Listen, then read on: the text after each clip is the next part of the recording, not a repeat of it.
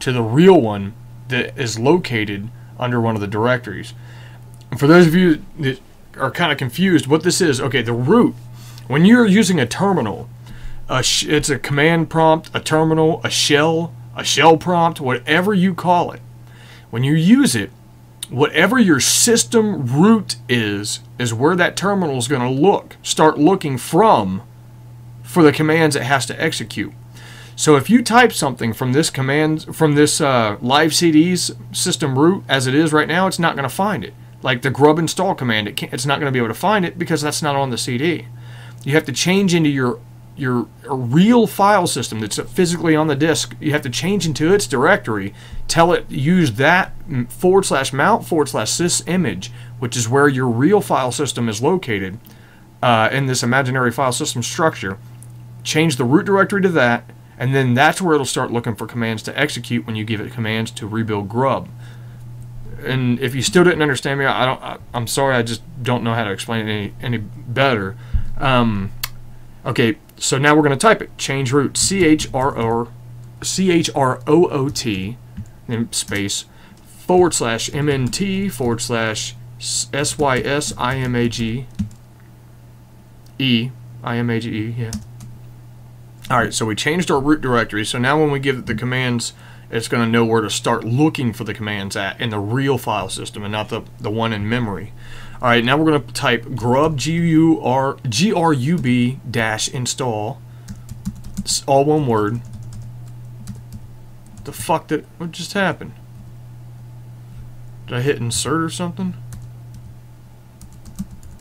All right, grub install, all one word, grub dash install, for, and then space forward slash dev for your device directory, and then forward slash SDA for the SDA device. This assumes that Linux is actually installed on SDA. Um, actually, this just assumes that SDA is your default boot device. Um, if you're using an older version of Fedora, you might have to type in HDA or HD0, but any anymore, it should always be SDA. Hit enter. You're going to see something that looks like this. Nothing at all. Surprise! No, it's going to take a minute. It's running very slow. And it actually runs slow even when it's not on a virtual machine. When it's really in the computer and you're trying to recover your shit, it's actually this slow. It's pretty pathetically slow. All right, there. It'll say installation finished, no error reported. This is the contents of the device map. And then it, will give you the directory. The, it'll show you the directory it's in. If this is, uh, check if this is correct or not. If any of the lines are incorrect, fix it and rerun the script.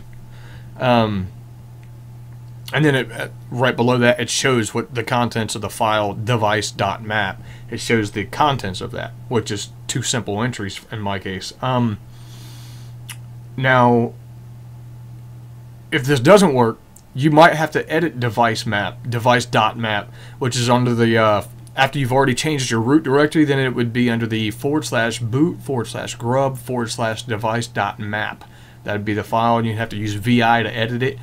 Um, and depending on your hard drive's layout, how many hard drives you've got, where you installed Linux, etc., I cannot tell you here and now how to edit your device map file. It all depends on your layout. So you'd have to actually use the forums for that. Go to fedoraforum.org or use my forums at linuxintro.com.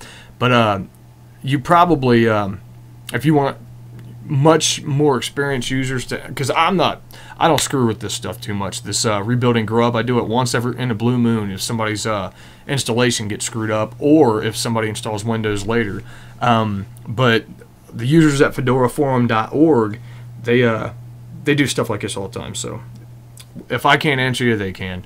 Anyway, type exit to get out of the shell prompt that you just changed root into then type exit again to get out of the other shell, original shell prompt that's in the live CD system memory, and it will reboot the computer.